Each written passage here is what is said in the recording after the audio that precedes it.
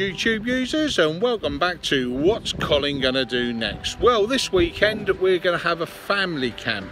So we're on a scout campsite just down the road from where I live and this is our setup for this weekend. One of our friends have just turned up in their little camper van. They're to be staying over there and we've got the run of this campsite.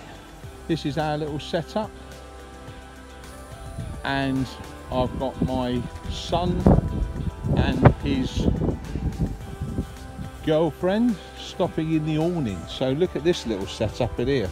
They've got a full blow up double bed in there and their little baby Declan's is got this lovely little carry cot.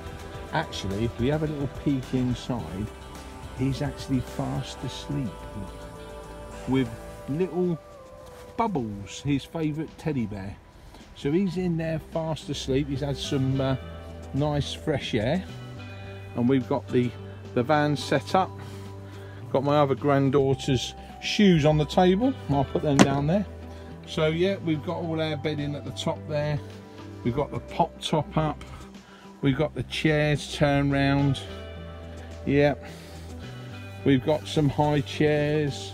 It's the push chairs. More stuff down here. Little Declan's ball.